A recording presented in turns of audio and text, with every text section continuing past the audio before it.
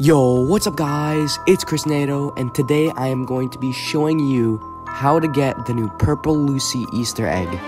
Alright, so what you want to do, once you're in your private code, and you have all your buds that you want to spawn Lucy with, way to do it is you gotta find objects that start with letters in her name, or letters in her name, which is Lucy, L-U-C-N-Y.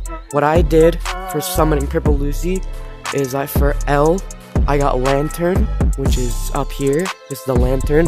This, or it's, it's either lantern or lamp. And this is lamp post. So actually, I'm just gonna try this, and you have to touch the glass part. Okay? Touch the glass. Okay, that's L done.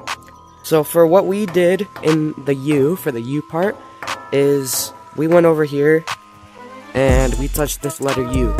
Okay? In the sunglasses shop and that's that's you done. So we're done L and U. C would be candle.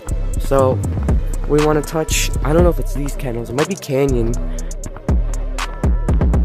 Now we gotta look for something that has Y. Yorick is the cosmetic of the skull, but I think any of the skeletons heads with the googly eyes would work. So let's go let's go on back to city.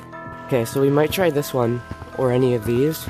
Okay, so this is for Y. You might want to touch everything. The eye, the skeleton head, everything, okay?